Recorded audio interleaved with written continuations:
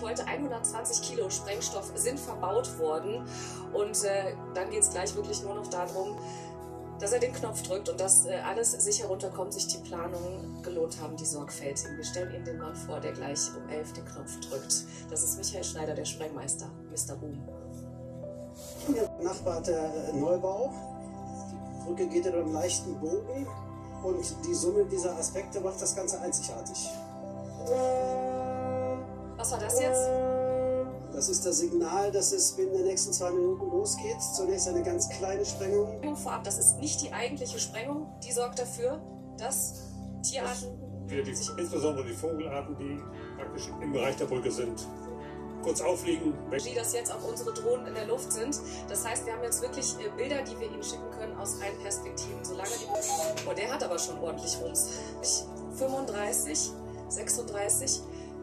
Ich würde gleich sagen, wir lassen Sie auch in Ruhe die Spur. Auf 10 Sekunden. Es sollte alles planmäßig laufen.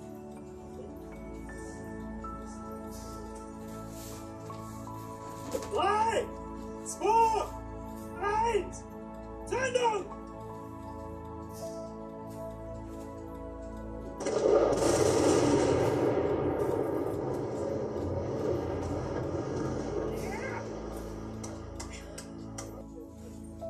Das langsam äh, aussah in der Slow-Mo. Was würden Sie sagen, Herr Fischer? Exakt wie gestern vorausgesagt, in der Mitte ein leichter Bogen nach oben bei den höheren Pfeilern.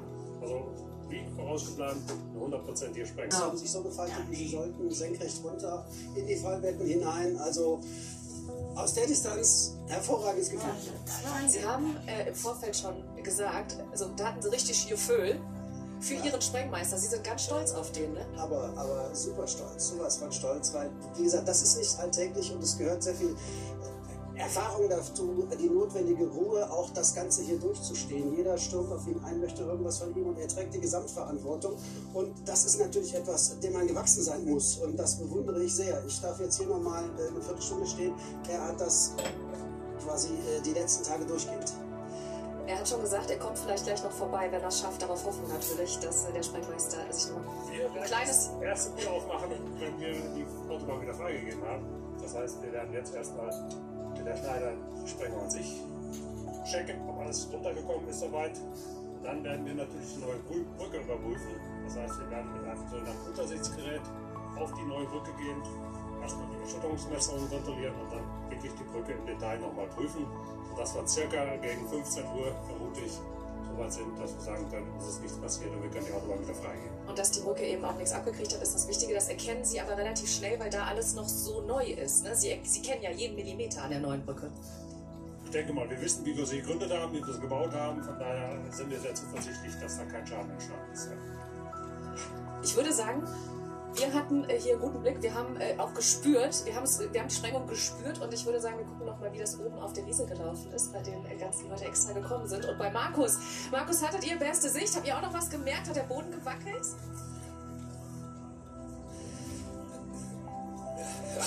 viel mehr als ihr da unten, definitiv. Das gab hier eine richtige Druckwelle. Ja, und jetzt ist er weg. Ein bisschen Staub, aber der legt sich natürlich jetzt auch mit dem Regen, logischerweise. Gianluca und ich, wir standen nebeneinander. Wir sind beide zusammengezuckt hier gerade. Unglaublich. Beschreib das mal. Wie war das für dich? Es war total faszinierend zu sehen, dass man, also man sah erst die Sprengung mit den Augen und dann eine Sekunde später ungefähr hörte man es erst und das war total faszinierend. Das ist so weit entfernt war es jetzt nicht, aber es war total interessant. Also ich habe es auch gespürt. Ich habe es nicht nur gesehen und dann gehört. Es war total, wirklich, es war was ganz Besonderes. Das heißt...